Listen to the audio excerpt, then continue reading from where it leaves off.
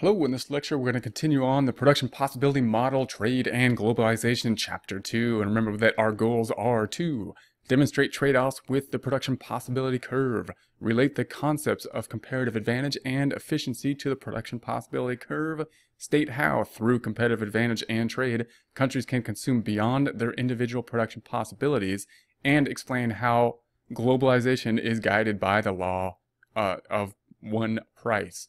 All right, so you remember last time that we had a production possibility curve that we saw a table form and we put in a production possibility curve form. And that uh, curve was actually a straight line, not, not really a curve. so we had a straight line and that indicated how much we could study uh, between two different uh, fields and see what the outcome would be. And now we're going to we're going to take a look at a similar idea here, but we're going to change things up a bit. So this is kind of a traditional production possibility frontier. We're going to have an increasing opportunity cost of the trade-offs. So the principle of increasing marginal opportunity cost tells us that the opportunity costs increase the more you concentrate on one activity. So here's a, a classic production possibility type curve where we, are going to talk about uh, guns and butter. Uh, guns and butter kind of refer to if we think about the economy as a whole and we think about just two items of the economy and we break those two things out and we could think of them as groups in general butter being things like consumption for if we um, for you know consumer consumption and guns being things like defense. So if we think about those two types of things and we're uh, going to see how much we should concentrate and produce in one or two of these areas within within the economy. So we're thinking like these are two separate uh, just two things that we could produce one uh, butter to guns, and the same way we thought about the studying of history or economics before, where where should we produce or how much can we produce? So for example, if we take a look at this point A here, so now we're up here and we're producing a lot more in terms of butter than we are in terms of guns. And what that means is because of the slope line, what we're saying is if we produce another unit of, of butter, uh, because we're up here at this level in the curve, it's actually costing us more guns to produce uh, another unit. It's costing us more and more as we're up here in this curve to produce another unit of butter. If we, if we look down here on uh, point B, the slope is steep at point B. This means that uh, is a high opportunity cost to produce more guns. Same thing over here. We're over here producing mainly guns. And what that is saying is that if we produce another unit of guns, it's costing us more. And, and notice what the cost is. Again, we're not talking about dollars in terms of the cost. There's two things that we can uh, produce and, th and then consume.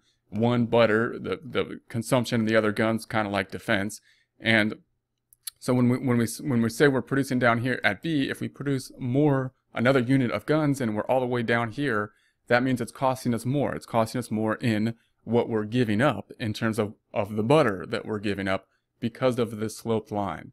So we can we could see this graphically if we were to graph out points the way we did prior as well and this would be what the curve would be looking like. So the question would be well why is that? Why is it not a straight line as we looked at before?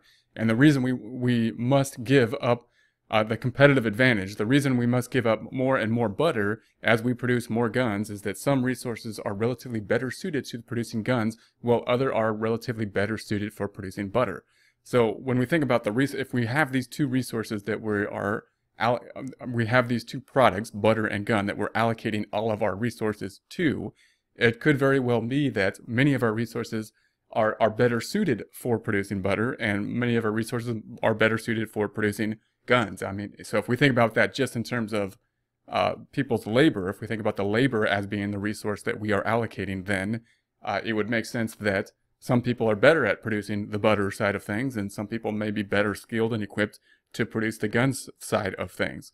So if we produce all butter, then the people who are better suited to produce guns can cannot produce as much butter as they could guns, right? We're, we're applying their skills to producing butter when they might be better suited to uh, producing guns, and, and that's why we have the sloped or curved line. So a resource has a competitive advantage if it is better suited to production of one good uh, than to the production of another good. So notice we, we looked at the curve and it was somewhat symmetrical there.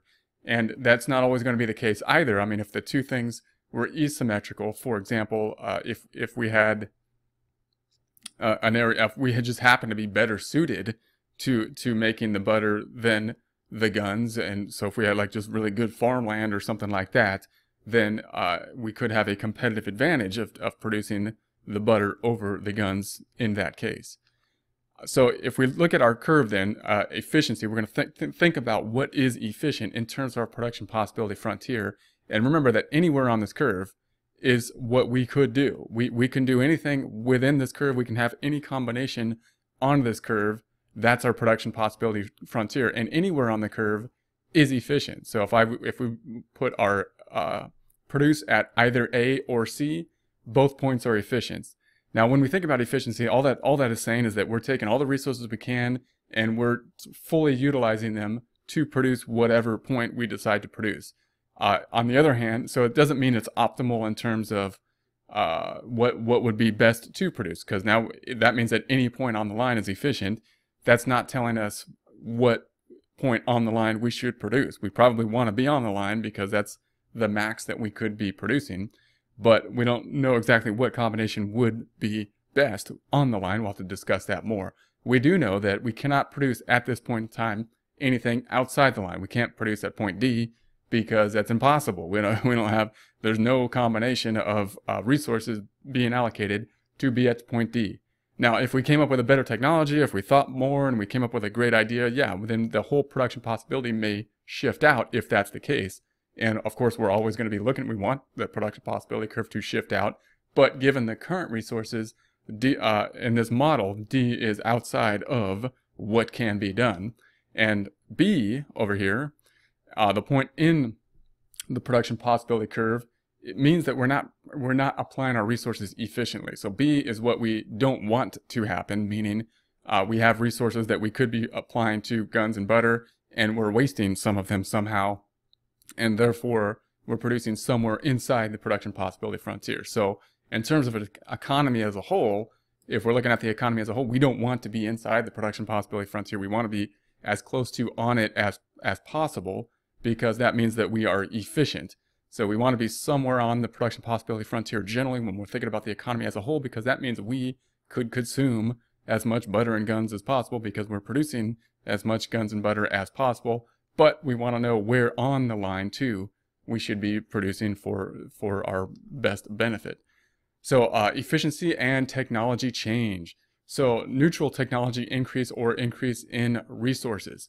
So note that we talked about, well, the production possibility could shift if we have these two processes, if we have guns and butter, and uh, let's say that uh, something happened like there was an increase in the population or something. Now we have more human capital and if that human capital was equally good as, as our ratio was before at producing guns and butter, then that would shift out the production possibility frontier because now we could produce more stuff. And if that was the case, then the production possibility because of the increase in capital would shift out. So now we could be at any point, uh, and our new possibility is out here. We can produce more guns and butter evenly distributed. If, however, the technology increased is biased, for example, if if we became uh, aware of a better way to produce corn or something, and we can produce, uh, you know, massively more amount of corn on uh, the same amount of property, then the production possibility frontier will shift out. However, it'll shift out something like this, right? We would see more of, a, of an uneven shift where uh, we could produce more of the corn and uh, we have an uneven push out of the production possibility frontier.